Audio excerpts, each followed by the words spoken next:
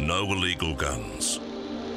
Because an illegal gun is a dangerous gun. Say something before it's too late.